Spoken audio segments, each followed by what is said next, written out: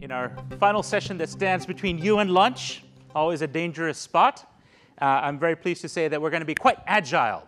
Um, I'm going to bring out my panelists to talk to us about the agile economy, and it's a CEO panel. So we've got some uh, a couple of heavyweights as well as a heavyweight thinker. So let me welcome out um, Pat Gelsinger, CEO of VMware, uh, John Noseworthy, who is president and CEO of the Mayo Clinic, as well as Navi Radjou, who's an academic thinker and uh, author of uh, some excellent books, including co-author of Jugaad Innovation. So give them a nice round of applause, please. please. Great. Now, why don't I um, start with you, Navi? Um, you've thought a lot about agility. Can you tell me, other than being a very attractive buzzword, what exactly does it mean to be an agile company? I think the other way to address that question would be to think about why one has to become agile. And uh, we always think about. Does anyone want to be slow and sluggish? That's right. But then the notion of time becomes very important because we always think about the most scarce resource being money or natural resources. But in today's hyper competitive world, the most scarce resource happens to be time. So the idea of agility is essentially how do you essentially reduce the time it takes to create new products and services but that's not just at the process level becoming agile. It's also important to make the organization itself more agile. And then most profoundly, what I notice increasingly is that how do you create an agile mindset among your employees as well? So I think agility is ultimately about optimizing time, which is increasingly scarce, by focusing on making your processes agile as well as your organizations agile. But ultimately, we heard about the people dimension. It's also about making your employees more agile as well. Now, we, we heard a little bit of this from a previous panel. Uh, you'll remember Peter Diamandis from the X Prize was uh, talking about uh, when I pushed him on how do you actually get your employees uh, at Singularity University or any of his startups uh, to move quicker. He said, I put them in a smaller box, give them less time, push them. And so I guess there's a sense that's a practicality of how Absolutely. you do this. As, as a matter of fact, being in Silicon Valley, I mean, you guys all heard about the hackathon, right? Hackathon is a fantastic mechanism to create a sense of urgency, right? You have 48 hours at Facebook, right, to crank out the next big thing. So there's nothing like a pressure of, you know, compressing the most scarce resource, which is time. So that can work. And I can also make a counter argument about why some things need time. And obviously, none of us here says there's no scope for long term projects. That's not the point. But this is a sense about sort of getting the metabolism higher at, in your organization. Absolutely. So I, I, take your point. So in that frame, let me turn maybe to Pat. Um, now, you obviously run a software company. Uh, you guys are supposed to be agile anyway. You're not like a, it's not like you're bashing steel and making you know, tankers or cars. You're supposed to have two guys in the garage and be disrupting yourself and eating your own lunch and all that. Um, and yet, at the same time, you're now a big company. Yep. Um, you know, you also have uh, legacy assets. You have, you're fortunate enough to be a profitable company. And what we know is that when you have established businesses, revenue streams, profits, org charts, suddenly it becomes a lot harder to innovate. All of history shows this. And so I want to hear from you because, again, this is the view from the top. And we'll, we'll turn to John next. Um, how do you nurture disruptive innovations, the breakthroughs within an organization when we know that oftentimes having existing assets, sales teams, marketing, distribution lines that are profitable almost guarantees that you know, they'll develop antibodies that will try to kill the new idea if it will threaten the existing line of business. Mm-hmm. Uh, give us some uh, practical uh, advice. Yeah, a, a, few thoughts in that respect. One is, you know, when we think about innovation, often we go to R&D, right? Yeah. Innovation is everything you do. It might be how you support a customer, it might be how you deliver a product, and you have to create, and I think one of the unique roles of the CEO is the culture of the company and you have to create a culture right that defends and supports innovation and ready to you know change things disrupt things eat your young anywhere throughout the company you know, a lot of that, right, certainly from a software and R&D perspective is, you know, small little projects and you have to, you know, support, defend, and, right, uh, enable those projects to be going on even though they may be disrupting, right, the big engine that's profitable uh, today. And, you know, from my Intel heritage, we had the Red X campaign, right? That chip's done, time to bring the next one out, even though it's less profitable, less manufacturable, right, you know, all of those types of things. You have to be ready to eat your young clearly the, and I think you know, you, it needs to be bottom up, but it also needs to be top down.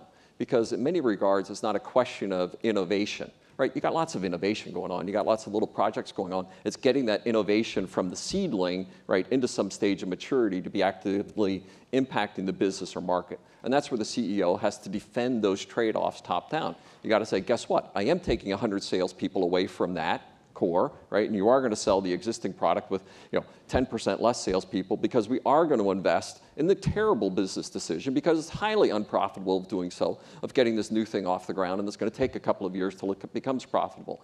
So you know, both is bottom up, has to be cultured, and has to be defended by the CEO. Um, now, you didn't say it explicitly, but it sounds like these uh, teams which you are tasking with innovation um, don't necessarily go through the traditional lines of command reporting to middle managers and, and other traditional functions. Uh, may or may not. Uh, because if they did, they, those guys have their bonuses decided by how your traditional business works, right?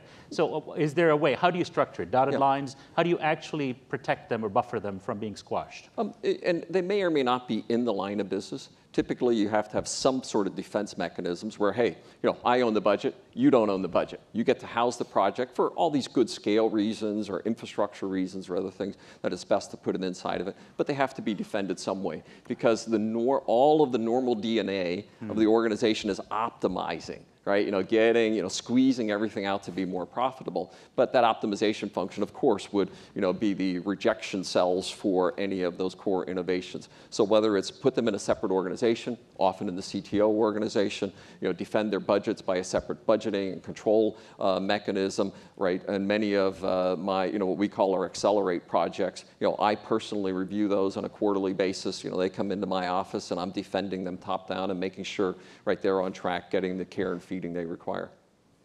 Um, let's see how some of this very excited and enthusiastic talk from a dynamic industry like software translates to healthcare, where um, uh, we have uh, uh, the law of the land that has been upheld now for a couple of years. I think the anniversary of Obamacare just passed. Um, is uh, the new healthcare law, is it the bane of innovation or is it a boon to innovation from your perspective? Well, thanks, Vijay. Um, Mayo Clinic's in its third century now, so we've been a very innovative company. You're you older even than The Economist, which is uh, 175 years old.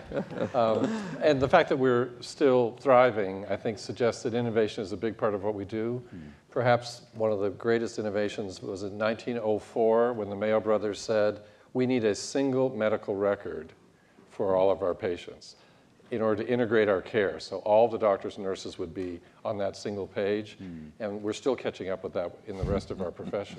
But there are three huge imperatives. The first one you mentioned, and in the, in the preface, you talked about seismic turbulence. Mm. Well, with the economy and the cost of healthcare at 18% of the world's largest economy, and now adding another 10% of the population to the uh, unsustainable Medicare trust fund, if you will, uh, and no way to pay for it, and indeed taking payments out of that, and indeed now with sequestration, defunding innovation, if you will, the NIH and National Science Foundation and so on, it doesn't sound like it's a great time to be innovative.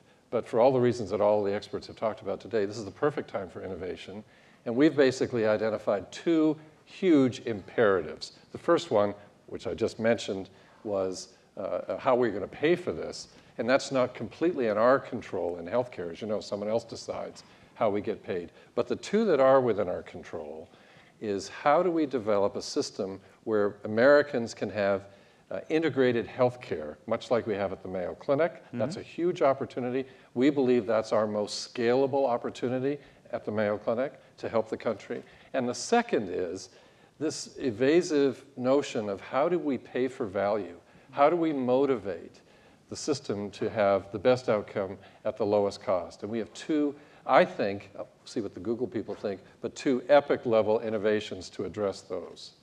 Give us a small taste, briefly, of one of them. First one, a second, I'll do the second, second one. I'll do them both fast. Basically, Mayo's taken all of everything we know, yeah. not only what we know, but how we work, and digitized it. And basically have said, through our affiliate network, this is how Mayo works this will help you provide integrated care locally. We think that's better than a consolidated strategy where you do R&D all over the place.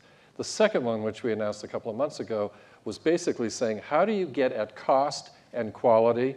And in a research strategic alliance with United Health Group, the largest insurance company in the world, through their Optum labs, take Mayo's outcome data, mm-hmm. all de-identified, take 109 million lives of claims data, the cost, put those together, create an open innovation forum for academics, policymakers, and the private sector, put our data in and analyze big data and drive outcomes. This, we, we've been told by others, really changes everything. Navi, will you come and weigh in, particularly picking up on the point about open innovation? Mm-hmm. Uh, where do you see this going? Yeah, I think open innovation is a great way to actually uh, save on time because if you look at Procter & Gamble, uh, it's very fascinating because one of the big projects they're embarking upon right now is around frugal innovation. So the way they define frugal innovation is doing what they're doing today at one third of the cost, mm. one third of the time, and one third of the efforts. So this is fascinating because what they realize is that yes, open innovation for the last 10 years allowed them to open up and embrace external talent and ideas. But now the pressure is not to get ideas quickly inside, but convert them very quickly into products and services. So they are focusing a lot on creating uh, you know, an accelerated pipeline for converting these ideas into branded products and services. So I think, I believe that open innovation is going to be useful not only on the inbound side of the innovation pipeline, but increasingly as a way to convert them into products and services as well. So especially with things like 3D manufacturing, et cetera, my feeling is that increasingly we'll see that uh, every aspect of the value chain potentially can be you know, uh, submitted to an open innovation kind of you know, paradigm. In which case, I think that companies can experience dramatic gains in terms of go-to-market. Because as you defined very well, Vijay, innovation is not inventiveness. It's about creating value out of fresh ideas. So I see actually that, that open innovation paradigm focusing the next decade around the notion of frugal innovation, which is how do you save time in converting these ideas into value. The, um, I want to come to questions in just a little bit, so uh, please get your thoughts together in the audience. The, um, uh, I want to come back to you, um, John, if you don't mind. Uh, you know, you, uh, despite having uh, uh, the handicap of legacy assets and history and age, um, you're widely recognized as having uh, uh, being one of the most innovative organizations in healthcare in the U.S. and the world, and having great outcomes. I mean, the published literature shows, yeah. and in part, I think it's fair to say that in an American healthcare system uh, larded with uh, perverse incentives. Uh, in which piecework is rewarded rather than uh, value creation, that is better patient outcomes, for example. Um, you have an integrated approach. Uh, and so, I mean, hats off to you for that. You. Um, but the question I have and a challenge for you, if I'm not mistaken, I think um, uh, uh you have tried to expand beyond your base in Middle, Amer- Middle America to, was it Arizona and Florida mm-hmm. that you tried? Mm-hmm. And the reports I read about that was that it wasn't that easy. That uh, you found it, even you yourselves, yes. that is, you and your predecessors, yes. Uh, with your own systems and all the in house knowledge and culture, yes. um, couldn't clone yourself perfectly. And so, what hope is there for the rest of us if even you yourself couldn't replicate the Mayo Clinic? Well, thank you. Uh, it's taken 25 years. I think we're there now. I think any of you who've been to those sites would see that it feels like the Mayo Clinic. And that's why we've taken a different strategy from the consolidation strategy that some of our, if you will, competitors are doing. Because we realize putting the name of Mayo Clinic on a hospital does nothing to the culture. Mm. And culture is really, really tough. And so what we've decided to do rather is focus on the integration of the care, if you will, Mayo Clinic inside. How do we care for patients? And then allow the doctors and nurses there. If that doesn't help them, they can contact us directly. Because the brand is important and it's hard to change the culture. That said, that's also a potential barrier for us that has such a strong culture. How do we innovate quickly? Because medicine is both innovative, as you've all heard, but also traditional. It's very personal. I want time with my doctor. That's the way I want my care. I don't want it on a cell phone or something of that nature. And so essentially what we've said to our staff, all 60,000, is we're not going to change who we are, which is patient-centered at humanitarian not-for-profit organization, but we're going to change how we work. And every one of you, like we heard this morning, we're going to release your creativity to find new ways, whether it's cheap and fast and, and, and, and frugal, uh, or whether it's high tech to, to change that, to drive out waste and drive up our quality. So it's, it's, a, it's a great challenge. That's a great tee up, actually. We have a, a short video from Vimeo on how to scale your company without losing its identity that might help spark some questions from the floor. So why don't I um, ask for the video to be played? Thank you. Hi, I'm Kerry Trainor. I'm the CEO of Vimeo. One of my own personal challenges is, you know, how do you grow a product that has fantastic business potential um, but do it in a way that doesn't destroy what made it special in the first place. How do you maintain the spirit of moving quickly and making decisions quickly, even as you're adding new functions to the organization and, frankly, just a lot more people into the room?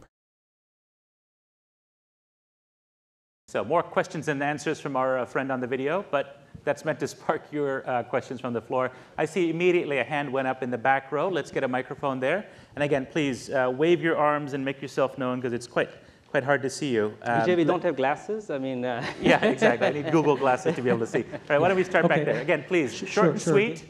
Very uh, short. And, and uh, identify yourself. Lu Luis Solis of Imaginatik. How do you push down the responsibility for innovation to your next tier of leaders, managers, and below?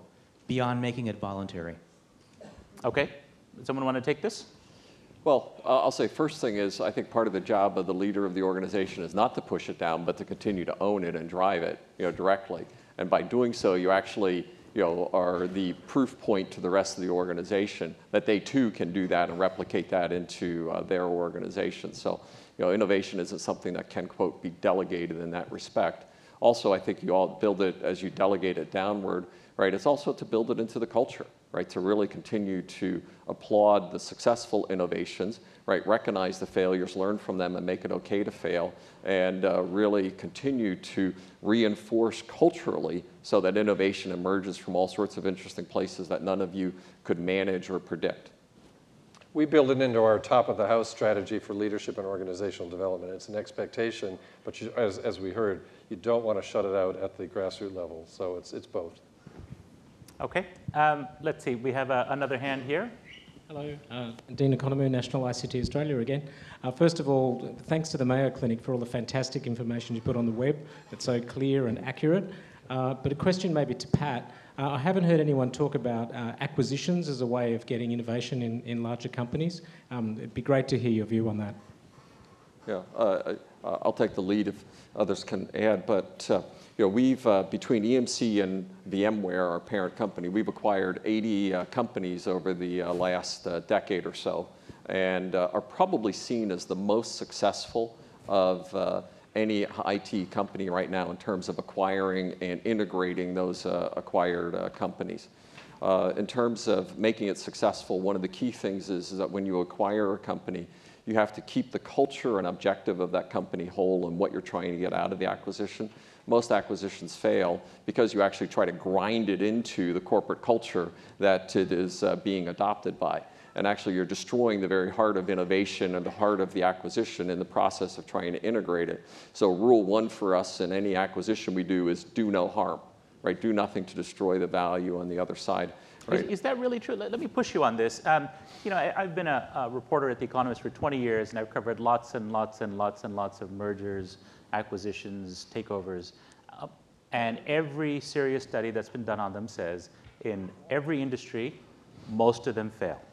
Most of them fail to produce the synergies uh, that are promised. Most of them fail to deliver the returns. In other words, this is a, a mug's game. And one of the lessons that I've taken away over the years, um, and I would love to be educated on why your company is different, uh, is that um, for, uh, in order to be nice, in order to spare egos, sometimes for uh, tax reasons. It is often said this is a merger of equals. We will respect your culture. In fact, typically there is an aggressor and there's a company that's in trouble or doesn't see a future and, and takes the, uh, is, is acquired. And those companies, for example, Exxon, when it took over Mobil, all five senior uh, executives that were announced were all Exxon people. The company is Exxon. It wasn't a Mobil um, a culture that was allowed to flourish, and that was a hugely successful takeover at that time. And so I, I just I want to push back a little bit because sure. there is some literature that suggests that in fact, if you are such a big and successful company, maybe you should be like the Borg and assimilate mm-hmm. and, and, and you know, take the best out of the people you take in, but don't let them pretend that they're their own company. Yeah, and uh, in many respects, I, and I'll say, you know, uh, there, there are many industries or many other things where that is an appropriate way right, to deal. Because you know, in that case, you're acquiring assets, you're acquiring oil fields, right? Hey, is that oil field different than this one? Does it have a different culture than that oil field? Well, of course not, right? It's the assets you're acquiring, that's what you're trying to optimize. In high tech and innovation, right, I believe that that is not the model, right, that will be successful. Where you do actually have to keep the culture, right, and the unique aspects of that innovation entity Now, again, if you're requiring something for a consolidation of two businesses to optimize market share, mm-hmm. you know, that's not an innovation acquisition, right? That's not the thesis of what we're talking about today. If you're trying to acquire, you have to very carefully treat that thing that you're acquiring. And it's not a merger of equals. We're acquiring you, right? You're part of our company. But inside of that, how do we protect, support, and defend the core values, the business position that they were part of? And that, I think, is one of the key things that has made us more successful than most of our peers, right, in terms of high-tech acquisition for innovation. Now, again, that's just one source of innovation. Sure, What you do organically, what you do with venture capital, what you do with uh, academic uh, research, and how you partner. But this is an area that we have found great success in acquiring acquisitions uh, and uh, uh, have seen uh, that to be a source of sustained innovation for us as a Okay, company. that's a great answer. Thank you for that, um, and for putting up with the rude question. You know, I think we've been neglectful, in my opinion, of this side of the room. Um, I see a hand here. Why don't I go here? It's awkward for the microphone to get you, sir, but we will um, make sure that it does. And again, uh, in the in the far back there, again, people don't be shy. Jump up and down. Do uh, you know whatever gestures you need to make to get my attention. Go ahead. Thank you. We, we've spoken a lot about. Please identify yourself. Uh, Bruce Goldberg from uh, Genentech. Uh, we've spoken a lot about preserving the culture, bringing the culture in. Can you guys go one level deeper and talk about what you actually do to do that? Is it Excellent. HR comp based? Is it Friday beer parties? What is it? You know, what do you actually do beyond the kind of buzzword? Um, so, at least in some of our cases, I was, uh, for instance, we just acquired a company, uh, and uh, uh, I was meeting with them for the first time. 200, you know, fearful people sitting in the room in that first meeting with them, and they asked me if I was going to support their Friday beer parties, and I asked them, "Is that important to you?"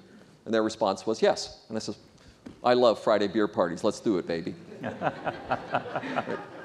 And, and again, right, if it wasn't important, right, they asked me if I defended their dog policy. What's your dog policy? Well, we allow dogs in the workplace. If, is that important to you? Yes, it is. Great. I love dogs in the workplace. Let's go for it. Right? So, you know, it really is a question of what is important in those culture. What are you trying to get out of the acquired entity? Now, over time, these things got to normalize over two, three, four year period. But, you know, that first six to 12 months is so critical right? You know, get over it, right? You know, who cares if they have Friday beer and the rest of the corporate policy doesn't support Friday beer? Get over it, right? And make sure that they're happy as part of the new entity and keep that culture of innovation, that business line alive as you go through that. You know, it's like adopting a new child, right? You got to treat it very, very carefully. Uh, let's get another question. I see a gentleman right there, actually close to where, where the previous question was.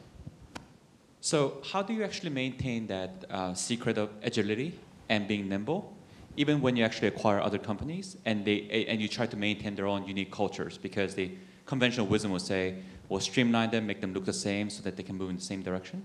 But how do you actually manage a multi-dimensional, multicultural kind of place, but still be nimble? Well, let's see. Maybe Navi, do you want to? Yeah, I mean, the a shot? company that I was uh, dying to talk about, which is uh, Saatchi and Saatchi, a very famous advertising agency. When you think about advertising, you think it moves fast in terms of agility. But guess what? It moves fast, but they only know how to sell advertising in traditional channels like print and TV. But now there's an explosion of media, right, with social media, Facebook, Twitter, et cetera. So they acquired a company called Duke. Uh, and uh, I went to visit the lab. Uh, it's actually in Paris, uh, very fancy place. But what's interesting is that the culture itself is very evident in the way they organize the office. Completely open, uh, no boundaries, uh, no cubicles. And the whole paradigm is that Duke is basically a digital content and digital media company. So the idea is to bring in the DNA of folks in the 20s, you know, some, some of them actually even millennials and even uh, Gen Z sometimes. And, um, and what they allow them to do for Saatchi and Saatchi is to start and complete a campaign in 24 hours. In 24 hours, they can actually set up a campaign for a famous brand if they could. Well, a social media campaign. Social media campaign. Right, But what's interesting is that um, what they discovered is that some of the creative way of creating the content and the message, etc., has to rely on the traditional approach they have always used.